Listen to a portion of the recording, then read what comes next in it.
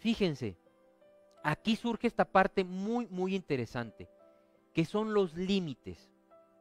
Los límites sanos y amorosos. Se los vuelvo a repetir. Límites sanos y amorosos. Que es muy grato, muy válido que los llegues a hacer.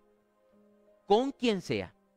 Desde tu entorno familiar, ya sea mamá, papá, abuelitos, bisabuelitos, eh, tu esposa, tus hijos, este, con el novio, con la novia, eh, con el primo, con la prima, con tu compañero de trabajo, con quien sea. Aprender a poner límites sanos y amorosos. ¿Sí? Les pongo un ejemplo, como la primera historia que llegábamos a platicar, la de Carlos con, con su jefe tormentoso. Carlos me llegó a platicar que un día tuvo que poner ese límite, pero sano y amoroso. No desde la reacción de tú me agredes, yo te agredo. No, al contrario. Tú me agredes y mi respuesta, fíjate bien, vendrá desde el amor, no desde la agresión. ¿Sí?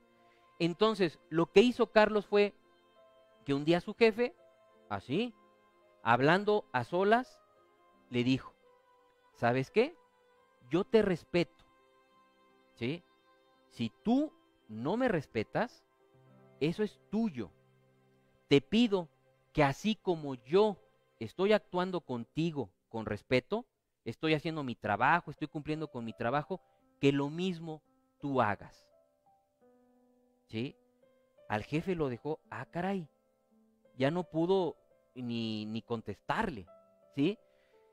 Y le dijo, yo estoy dispuesto a trabajar de manera profesional, a hacer mi trabajo con amor, con pasión, pero te pido que me respetes, así como yo lo hago contigo, por favor.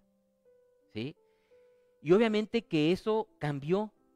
Eh, Carlos me platicó que hasta su jefe, aunque él seguía manteniéndose muchas veces con esas actitudes con los demás, que con él ya digamos eh, ponía su límite, le hablaba diferente, le pedía las cosas diferentes y eso hasta su misma relación y el trabajo ayudó de mucho.